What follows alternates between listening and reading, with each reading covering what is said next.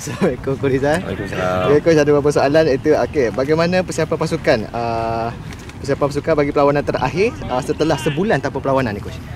Ya, uh, persiapan pasukan saya rasa uh, berjalan seperti biasa.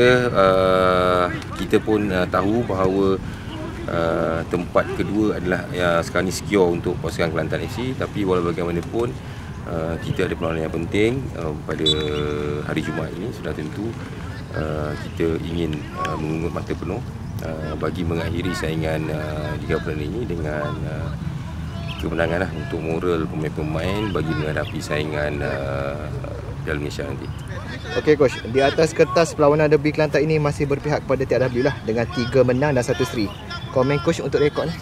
Uh, rekod adalah satu uh, sejarah yang lepas. Uh, walau bagaimanapun pada saya uh, apa yang lebih penting adalah uh, pemain tidak perlu memikirkan uh, uh, tentang uh, uh, perlawanan-perlawanan menentang KU sebelum ni. Apa yang penting adalah 90 minit waktu permainan perlu dimanfaatkan dengan baik.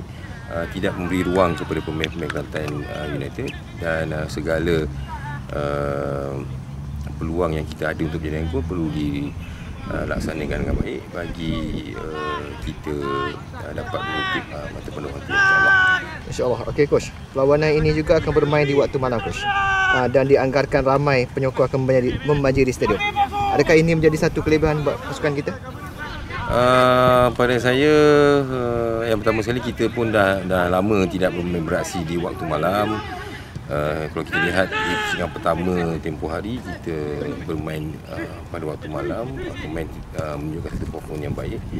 Uh, kedatangan peminat juga ini menggambarkan bahawa uh, sokongan semakin uh, baik untuk pasukan Kelantan dan uh, saya rasa kelebihan tu Uh, kedua-dua pasukan punya kelebihan masing-masing uh, Apa yang penting kita perlu melaksanakan tugas kita terlebih dahulu lah. uh, Dan kita dapat lihat sama ada kita uh, boleh mendominasi permainan ataupun uh, sebaliknya Okey Coach, terima kasih dan golak untuk perlawanan menentang KU. Terima kasih eh.